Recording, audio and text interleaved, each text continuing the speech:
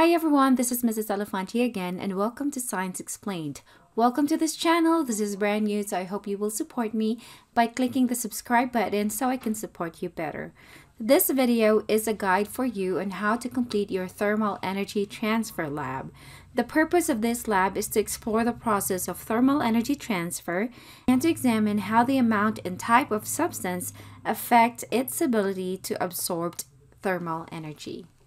These are the supplies that you need and of course you don't need to gather all the materials because this is a drag and drop virtual lab. Make sure to download the student guide from the message board. While it, it is doing that, so our independent variable here is the mass of the substance and the dependent variable is the amount of heat absorbed, controlling the type of substance and the initial pressure. For the second part, your variable is the independent variable type of substance. Dependent variable is the amount of heat absorbed and controlling the mass and the initial temperature.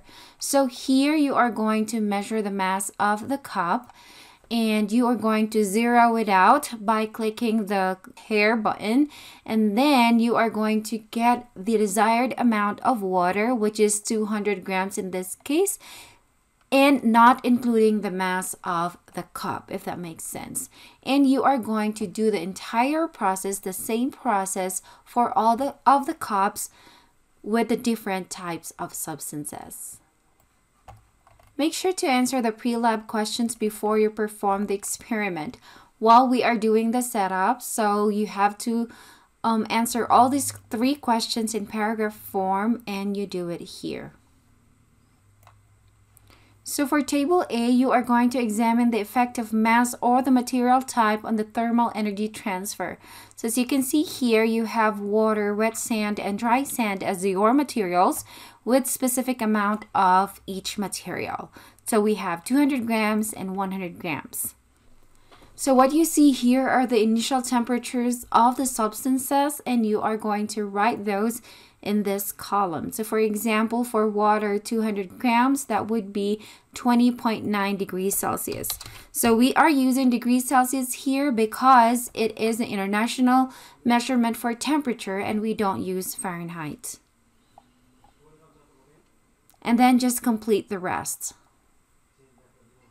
Since you've turned on the lamp and the samples are warming, continue on to measure the change in temperature for different materials and mass. So you just have to wait what happens after 25 minutes. So while waiting for 25 minutes, you're going to want to answer this question.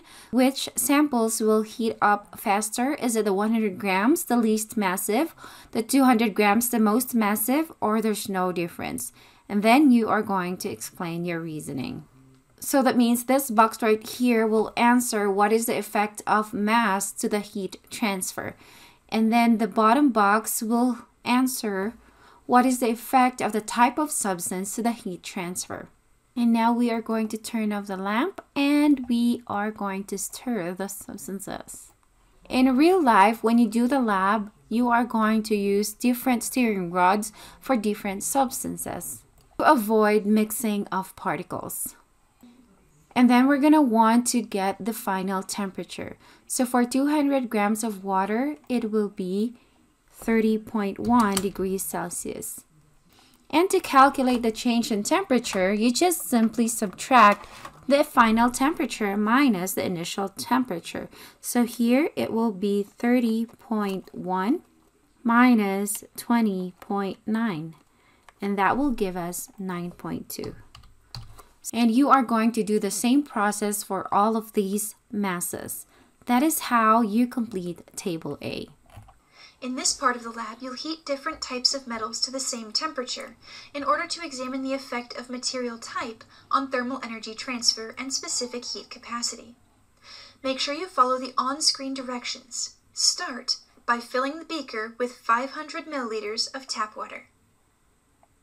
So as per instruction, it says here that we need a 50 gram of aluminum wire. So we're going to cut um, extra here and we put 50 grams on this part. Make sure not to skip any of the instructions so you will get all the information that you need to complete table A. So you should be able to get the mass of the steel wire and the lead pellets and as well as the further instructions on how to coil these materials. In this step, you'll add room temperature water to the calorimeter and measure its mass. Make sure you follow the on-screen directions. Start by placing the calorimeter without its lid onto the mass balance. So here we are going to add an, ex an, exact amount of water. Therefore, we are going to zero it out so we won't add the mass of the cup. Alright, when doing this step, this will give us the initial temperature of the metal sample.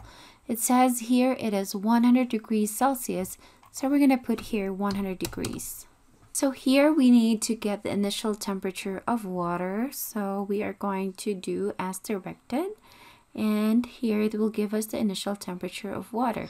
Once so here this is 17 and the increment will be 2 because you say 17.2, 0.4, 0.6, 0.8 and then we have 18. So this will be 17.8. So obviously here the temperature of water is 100 degrees because it is the boiling point of water. In the same way, this will also be the initial temperature of our metal because it gets the temperature of the water. So you're going to want to write here 100 degrees.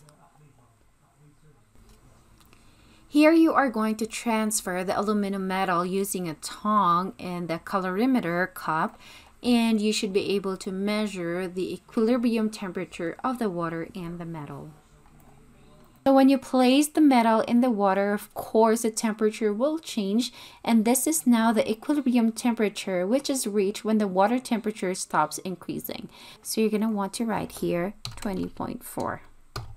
So for the next steps, you are going to complete the same process for the steel wire and the lead pellets. So for this column, you are going to follow this equation which says the equilibrium temperature minus the initial temperature of water and, and our equilibrium temperature is 20.4 and the initial temperature of water is 17.8 for this specific metal which would give us 2.6. Now we are going to calculate for the change of temperature of the metal. To do that, we have the temperature in equilibrium minus the initial temperature of the metal. So our equilibrium, we know that it is 20.4 and then the change of, I mean the initial temperature of the metal was 100 so minus 100 so here you will be expecting that you will have a negative answer because a small number minus a negative uh, big number however here, since you put the metal inside the cup, which, which is a thermally insulated environment, so therefore there is no loser gain of energy. Therefore, we are just going to use an absolute value here. And doing the math, we it will give us 79.6 positive. And then here, this specific heat of water is 4.18, which is already constant, and it will be the same for all. And we are going to calculate for the specific heat of the aluminum wire. And to solve that, we have this equation. And following the equation, we are just going to plot everything. That is our um, specific heat of water. We have 4.18 and then 300 is our mass of water, which is that. And then 2.6 is a change in temperature which is this one. And we have all over 50, which is the mass of our metal. And our heat um, change in change in temperature of a metal of the metal is positive 79.6. Doing the math, it will give us 0.82. So we just put here 0.82. You will do the same process for the steel wire and the lead pellets. So these are the specific heat of the common materials and all these materials with a gray box you don't need to solve since we only did aluminum, steel, and lead.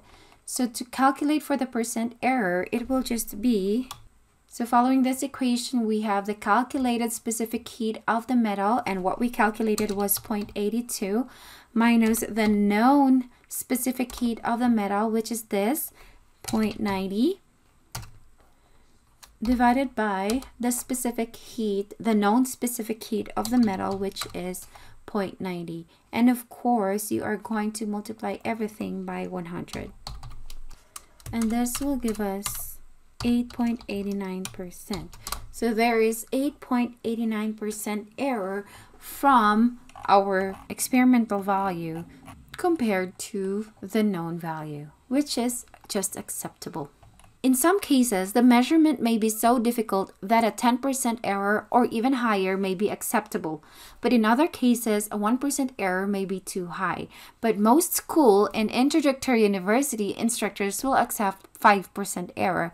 But in this case, since this is all virtual lab and we didn't really do it hands-on, 8.89 is still acceptable. And then after completing the percent error for steel, and lead, you're going to answer all of these questions.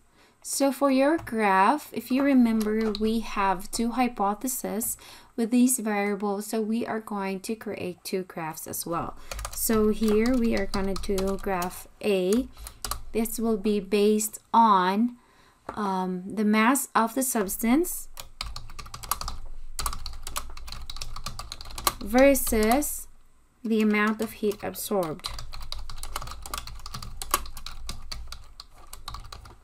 We already have a lesson on how to create a graph but if you have questions join us in our live lesson and uh, maybe another video um, on how to graph this kind of data so if you think a graph is appropriate for this one, go ahead and do two graphs for your hypothesis A and B. If so, just give a general trend for the effect of the mass of the substance to the amount of heat absorbed and the type of the substance to the amount of heat absorbed. Just a general statement. What would be the trend or what summary can you give? And then answer the questions to complete this lab. Okay, so that's it. If this tutorial has been helpful for you, give this a thumbs up. And again, subscribe to this channel so I can support you better. Thank you so much, guys, and have a good day. God bless you all. Bye-bye.